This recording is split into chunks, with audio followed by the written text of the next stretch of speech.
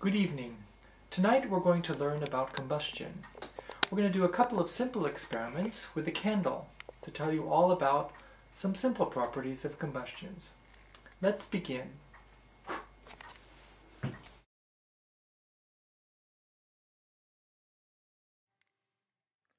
candle and its flame may look simple, but in fact it's a complex mixture of chemical and physical processes that are needed to create the combustion creating the candle flame. Air is one of the necessary ingredients to create combustion. Take air away and the combustion process stops, and the candle flame is extinguished. We will now do a small experiment in which we will let the flame use up all the air in the cup. When the air is gone, then the flame is extinguished. We will now limit the amount of air that the flame can use by placing a cup over it. We see that as the air is used up, the candle does not burn quite as brightly. It goes dim until it finally goes out. Let's do the experiment again, but with a bigger cup, and this also means a bigger amount of air. As before, we place the cup over the flame. And now we see, with the larger cup, that in fact there's more air and it takes longer to extinguish. In fact, since the cup is about twice as large, we see that it takes almost twice as long for the flame to extinguish.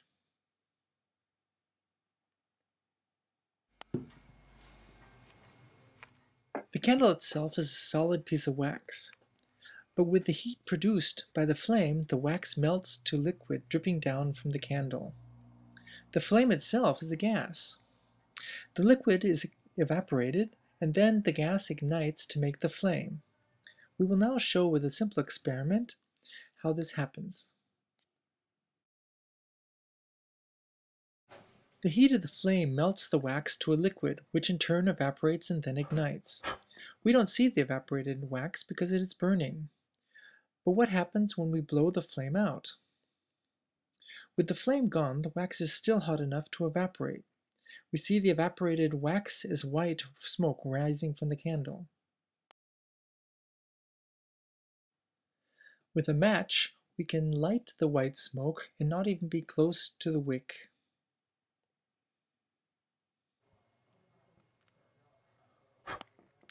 Let's look at it again. Here we're in the white smoke, and now we're slowly igniting the wick. Here it has ignited, and we're not even close to the wick. Now let's look more closely at the flame itself. You can see that the flame is not just one color, but in fact has many parts to it. The easiest to see is the blue part at the bottom. Now above the blue there is an orange that turns to bright orange and almost white at the flame. And then, at the very tip, the color lightens to another orange again. The blue color reminds us of, for example, a gas stove, burning a natural gas fuel, which is a hydrocarbon. Hydrocarbon is a species made up of carbon and hydrogen atoms. Wax is also a hydrocarbon, though a much more complicated one. Since the two flames have the same color, we can guess the two fuels are made up of similar things, and we can guess the blue color comes from the same molecules.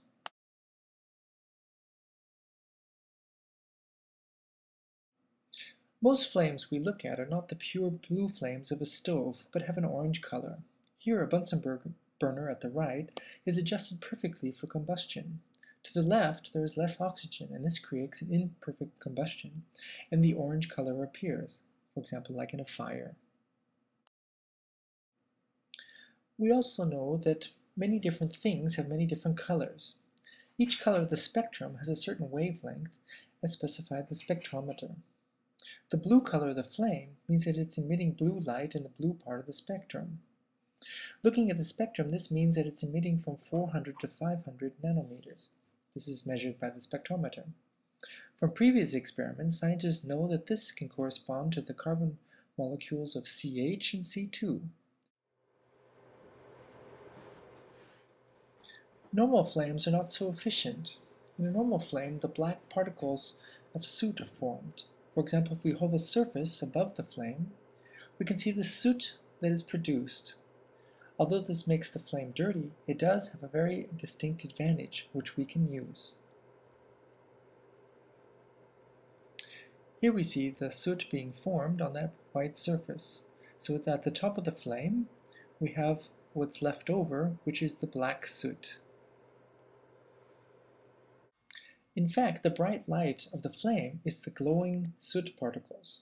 Without them, for example, in an efficient stove, this light would not be reflected. In other words, we can't read by just the stove.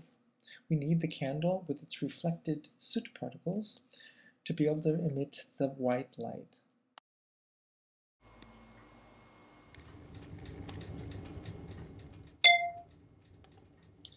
Flames are not just used as light sources, which we found out was due to the soot in the candle, but also used for heat, such as in a fireplace. We also learned that the flame has different parts because of its different colors.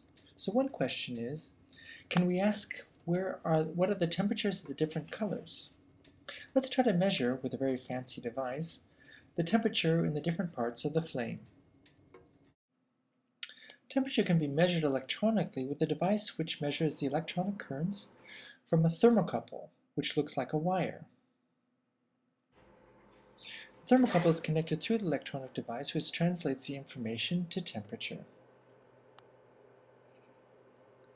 We put the thermocouple in the flame and slowly the wire heats up to the temperature of the flame itself.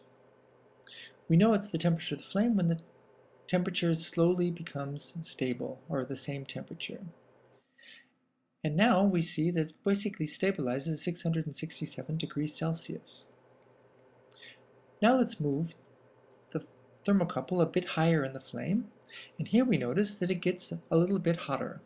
In fact, it gets about 70 degrees hotter to 750 degrees Celsius. And here it stabilizes about six, 764 or something like that.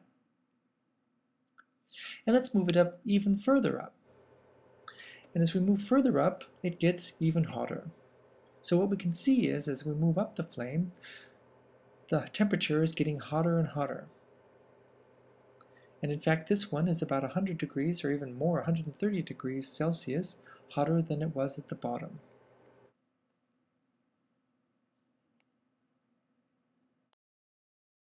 In actuality, the temperature is much higher. Actually, it's about 1,000 degrees uh, Celsius. But our device is not so accurate because it's a little bit too big for the flame. So if you have other problems like sooting. So I hope the next time you gaze at a candle, you will see not only its beauty, but also the beauty and complexity of the combustion process that created it. Thank you and goodbye.